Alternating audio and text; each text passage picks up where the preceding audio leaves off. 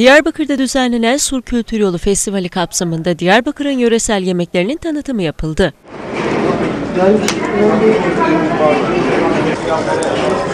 Türkiye Kültür Yolu Festivalleri bünyesinde Kültür ve Turizm Bakanlığı'nca kentte düzenlenen festival farklı etkinliklerle sürüyor. Gastro Diyarbakır buluşmalarına da ev sahipliği yapan festival kapsamında Merkez Kayapınar ilçesindeki bir lokantada kentin yöresel lezzetleri Eyvan grubunun seslendirdiği türküler eşliğinde tanıtıldı.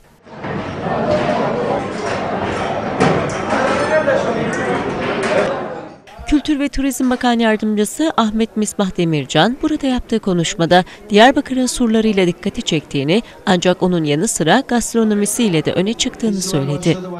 Buraya kültür geldikçe, sanat geldikçe, etkinlikler geldikçe demek ki turizme faydası da olacak. İçinde şovu var yani. Yatırımcı artık buraya bu gözle bakacak. Daha fazla yatırım yapacak. Daha fazla istihdam demek.